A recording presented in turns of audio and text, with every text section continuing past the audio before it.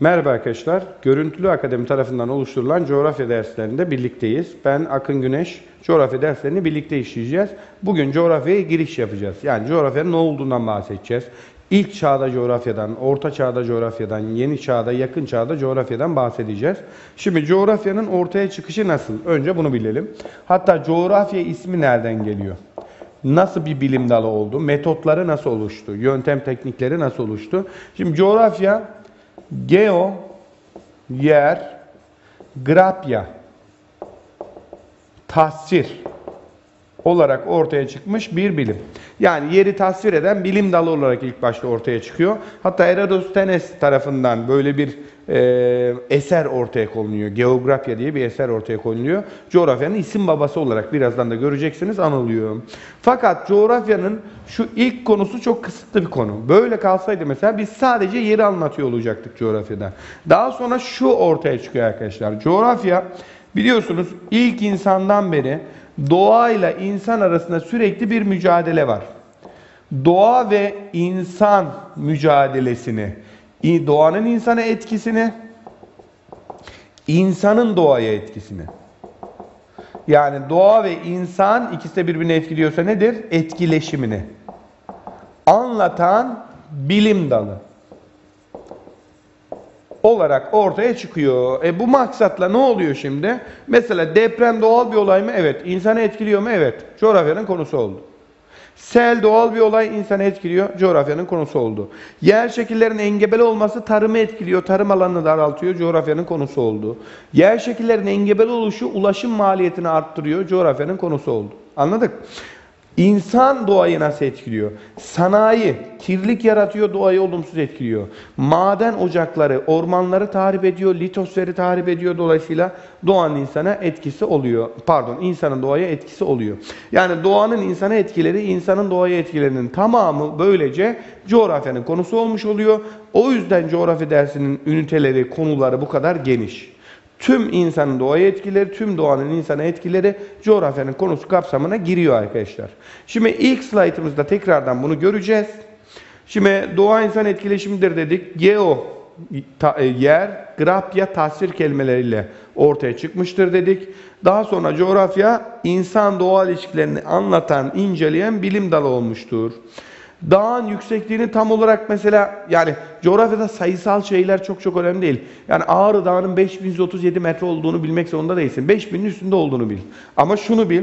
O Ağrı Dağı'nın orada olmasının insana etkisi, ekonomiye etkisi, doğaya etkisi, bitkiye etkisi, yağışa sıcaklığa etkisi nelerdir? Bunları bilmek aslında coğrafyadır. Şimdi bir sonraki slaytımızda arkadaşlar Coğrafya biliminin ilkeleri. Bakın coğrafya biliminin ilkeleri nedir? Nedensellik ilkesi. Mesela depreme neden olan faktörler nelerdir? Yağmur neden yağar? İşte sıcak ve nemli hava yükselir, soğur, yoğuşur, yağış olur. Nedensellik ilkesiyle coğrafyayı akılda tutmak çok daha rahat oluyor. Yani her şeyin bir nedeni vardır diyoruz. Dünyanın oluşumundan bahsederken kıtaların kayma teorisinden bahsediyoruz mesela. Dolayısıyla depremin nedeninin yerin içindeki magmanın enerjisiyle olduğunu söylüyoruz. İşte selin aşırı yağış sonrası olduğunu söylüyoruz. Yani her şeyin bir nedenini söylüyoruz. Nedensellik ilkesi. Dağılış ilkesi arkadaşlar coğrafyada en çok kullanılan ilkedir. Harita aslında dağılış ilkesi. Yani bir şeyi dünya haritasında, Türkiye haritasında gösteriyorsam hangi ilkeyi kullanıyorum? Dağılış. Bu dağılış ilkesinde de bize yardımcı olan bilim kartografya, harita bilimi dediğimiz bilim. Karşılıklı ilgi ilkesi. Coğrafya olayları arkadaşlar birbirleriyle bağlantıları var. Yani coğrafya biraz bu yönden matematik gibi. Yani bir konu ilk konu ikinci konuyu, ikinci konu üçüncü konuyu, üçüncü konu onuncu konuyu etkileyebiliyor. Dolayısıyla iç içe geçmiş konular oluyor. Mesela güneşin geliş açısıyla sıcaklık arasında bir ilişki var. Güneşin geliş açısı ekvatordan kutuplara daraldıkça sıcaklık ne oluyor?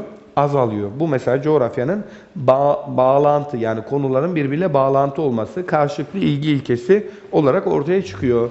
E, dağlık yerlerde mesela ulaşım maliyetinin çok olması, nüfusun seyrek olması gibi unsurlar e, birbiriyle bağlantılı olduğunu konuların gösteriyor. Karşılıklı ilgi ilkesi diyoruz buna. Şimdi bir sonraki slaytımızda şu var. Coğrafyanın dalları. Genel coğrafya. Arkadaşlar genel coğrafya şu. Bir konuyu dünya üzerinden anlatırsan hangi konu olursa olsun o genel coğrafya olur. Bir konuyu bir kıta üzerinden Asya kıtası. Yani şunun gibi düşünün. Dünyanın akarsuları genel coğrafya, Asya'nın akarsuları, Doğu Anadolu'nun akarsuları, Türkiye'nin akarsuları yerel coğrafya oldu. Bunun gibi düşünün. Burada bazı bilim şeyleri var. Coğrafyayı dallarından fiziki ve beşeri olarak ikiye ayırıyoruz coğrafya önce. Fiziki, beşeri, ekonomik. Şimdi fiziki coğrafya insan etkisi olmayan coğrafya arkadaşlar. İnsan etkisi olmayan coğrafya nedir? İnsan etkisi olmayan coğrafya arkadaşlar mesela yer şekillerinin oluşumunda insan etkisi var mı? Yok. Dolayısıyla yer şekilleri hangi coğrafyanın konusuna giriyor? Fiziki coğrafya. Şimdi bu yer şekillerini anlatan, inceleyen bilim dalına da arkadaşlar jeomorfoloji diyoruz. Ama burada şunu bilin. Jeoloji derse, jeo yer demek, geo da yer demek, jeo da yer demek. Jeoloji derse yeraltı bilimi. Mesela ben bir yerin madenlerinden bahsediyorsam jeolojik yapısından bahsediyorum. Ama bir yerin engebesinden, ovalarından, dağlarından, platolarından bahsediyorsam oranın jeomorfolojisinden bahsediyorum. Yani şunu bilin. Jeoloji yeraltı, jeomorfoloji yerüstü. Yer şekli jeomorfoloji, yeraltı bilimine jeolojik yapı diyoruz. Klimatoloji iklim arkadaşlar. İklim bilimine ne diyoruz? Fiziki coğrafya denilen klimatoloji. Coğrafyada bir şey hidro ile başlıyorsa su. Dünya suları yeraltı, yerüstü, okyanus, deniz, göl, akarsu hiç fark etmez. Su bilimine arkadaşlar hidrografya, hidroloji diyoruz. Biyocoğrafya canlı. Bitki, hayvan bilimine biyocoğrafya diyoruz. Kartografya da arkadaşlar harita. Az önce dağılış ilkesinden bahsederken söylemiştik. Kartografya. Sonra beşeri coğrafya. Beşeri coğrafya nüfus ve yerleşme coğrafyası arkadaşlar. Nüfus coğrafyasına beşeri coğrafya da nüfus bilimine de demografi diyoruz. Demografi neymiş? Nüfus bilimi. Bir sonraki slaytımıza bakalım. Son olarak bir de ekonomik coğrafya. Ekonomik coğrafyada arkadaşlar insan faaliyetleri.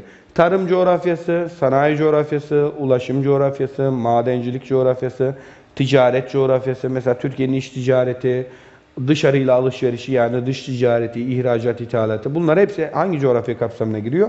Ekonomik coğrafya. Ama az önce şunu söylemiştim.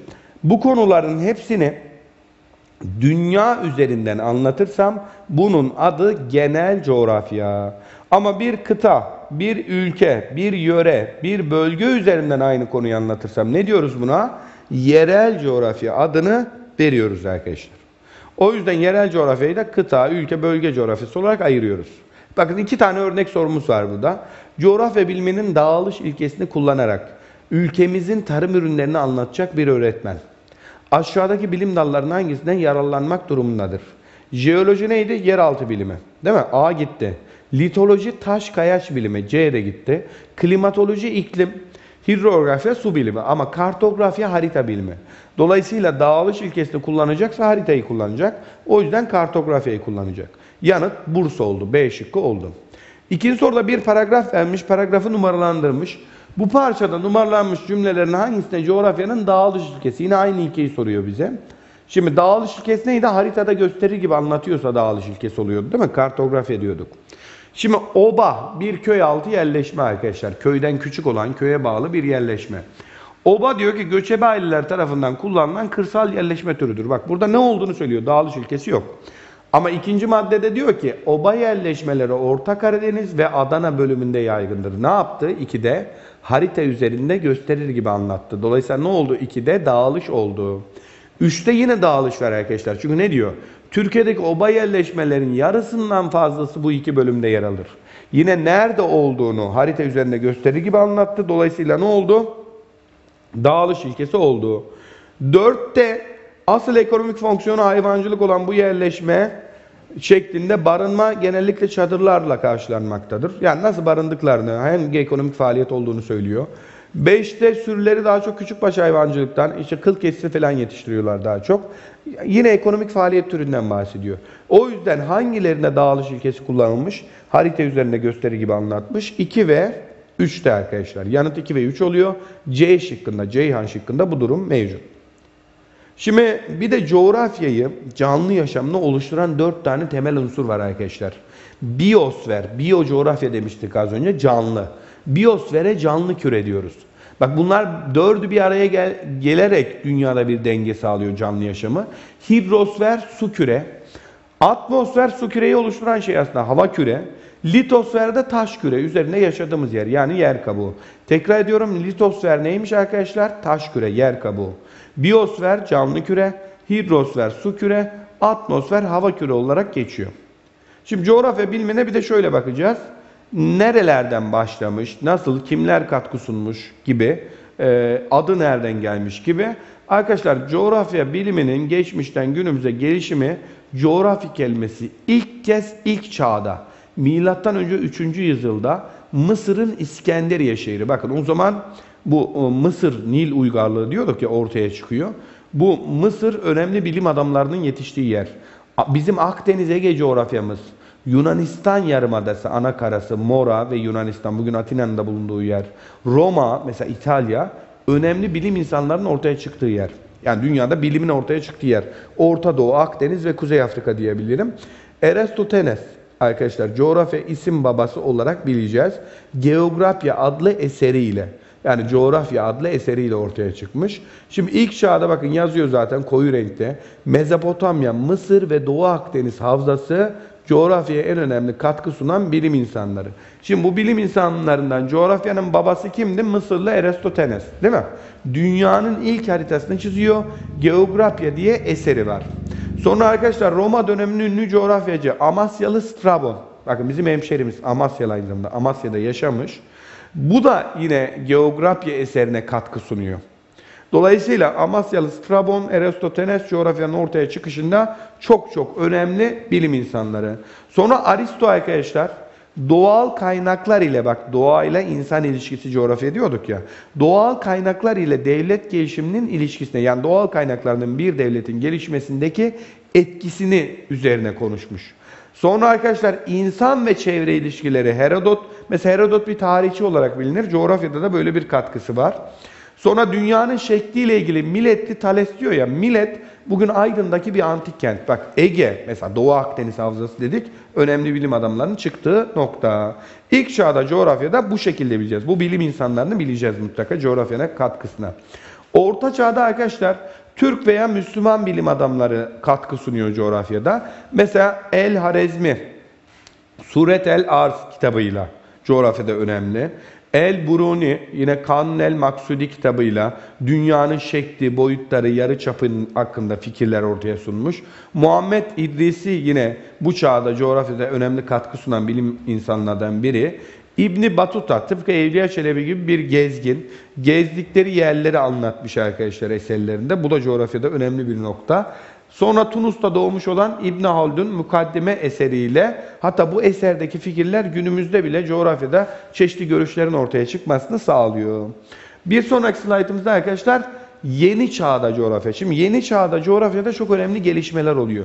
Niye çok önemli gelişmeler oluyor? Çünkü yeni yeni kıtalar bulunmaya başlıyor. Yeni yeni denizler, okyanuslar, adalar bulunmaya başlıyor. Bu coğrafyada çok önemli bir nokta. Yani dünyada yeni yerler keşfediliyor. Bu yeni yerlerin keşfedilmesine tabii neyin etkisi var? Burada Avrupa'nın çok büyük bir katkısı var tabii ki. Avrupa'da bu Rönesans, reform hareketlerinin olması bu cesur denizcilerin ortaya çıkması, güçlü böyle okyanuslardaki büyük dalgalardan etkilenmeyecek gemilerin yapılması, bir de bu dünyanın yuvarlak olduğu bilincinin yavaş yavaş ortaya çıkması, bu önemli bilim insanlarının dünya turu yapmasını sağlıyor. Yani dünyayı keşfe çıkıyorlar. Dünyayı keşfe çıkarken de yeni yerlere denk geliyorlar. Mesela Bartemi Diaz Ümitburnu, Afrika'nın en güney ucunu keşfediyor. Christoph Kolomb Amerika'yı keşfediyor arkadaşlar. Fakat tabi burayı dünya yuvarlak düşündüğü için mesela Kuzey Güney Amerika'yı kaldır. Batıya gidince Hindistan'ın güneyine gelir. Dolayısıyla Hindistan'ın güneyindeki adalar zannediyor. Daha sonra buraya giden Americo Vespucci buranın yeni bir kıta olduğunu söylüyor ve Amerika kıtasına ismi veriliyor. Kuzey ve Güney Amerika diyoruz bugün. Arkadaşlar Magellan bir dünya turu başlatıyor. Dünyanın yuvarlak olduğunu kanıtlayacak. Bu dünya turunu başlatırken yerlerle bir savaş sırasında ölüyor. Dolayısıyla Del Cano bunu tamamlıyor, bu dünya turunu. Yani Magellan ve Del Cano dedi mi dünya turunu yapan kişiler. Magellan tamamlayamıyor, Del Cano bunu tamamlıyor. Vasco da Gama yine Hindistan'a deniz yoluyla ulaşıyor. Önemli e, bir coğrafi buluş ortaya koyuyor. Yani sadece bir kıtayı keşif değil. Bir yerden bir yere hangi yoldan giderim? Farklı bir yol, farklı bir deniz yolu buluyorsa bu da önemli bir buluştur. Sonra arkadaşlar Belçikalı bilim adamı mesela bir Ortelius bir e, 70 sayfadan oluşan bir dünya atlası, dünyanın ilk atlasını ortaya koyuyor.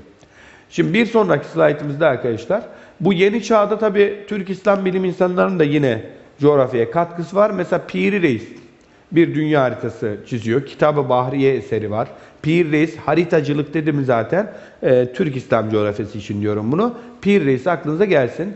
Bir de şu eseri mutlaka bilin arkadaşlar. Katip Çelebi'nin yazdığı Cihan Nüma. Dünyanın aynası anlamına geliyor. Bu da bak Katip Çelebi de Evliya Çelebi gibi bir gezgin ama Cihan Nüma eseri Evliya Çelebi'ye ait değil. Kime ait? Katip Çelebi'ye. Dünyanın aynası anlamına geliyor. Evliya Çelebi de bu dönemde arkadaşlar pek çok ülkeyi geziyor. Seyahatname dedi mi Evliya Çelebi akla gelecek. Yine coğrafyaya önemli katkı sağlayan insanlardan bir tanesi. Şimdi son olarak arkadaşlar yakın çağda coğrafya. Şimdi yakın çağda coğrafya ne oluyor? Yakın çağda artık coğrafya bölümlerine ayrılıyor. Hani bir şeyin bölümleri var diye böyle her bilimin. Şimdi coğrafyada mesela Humboldt var. Humboldt fiziki coğrafyanın kurucusu arkadaşlar. Hani bu dağlar, ovalar, jeomorfoloji, jeoloji, klimatoloji, iklim, işte hidrografya, su doğaldır diyoruz ya buna fiziki coğrafya diyoruz. İşte bunun kurucusu kimmiş? Van Humboldt'muş. Sonra Karl Ritter arkadaşlar beşeri coğrafyanın kurucusu olarak karşımıza çıkıyor. Frederick Retzel antropoloji yani insan coğrafyası, insan ırkları üzerine çalışmalar yapıyor. Bir de siyasi coğrafya yani bu ülke sınırlarıdır, kıta sınırlarıdır, siyasi coğrafya üzerine çalışmalar arkadaşlar yapıyor. Yani yakın çağda coğrafyayı da bu şekilde bileceğiz. Arkadaşlar bu dersimizde, ilk dersimizde coğrafyanın ortaya çıkışı, yakın çağ, yeni çağ, ilk çağda coğrafyaya katkı sağlayan bilim adamları, coğrafyanın isim babası ve coğrafyanın bölümleri bunlardan bahsettik. Bir sonraki dersimizde görüşmek dileğiyle.